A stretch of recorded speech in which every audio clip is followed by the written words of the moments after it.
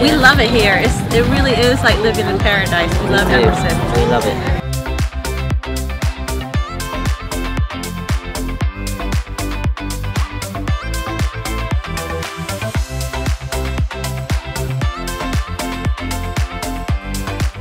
Doing stuff like this, you don't have Yeah. to drive far, and you know you're, you're just enjoying life around your neighbors.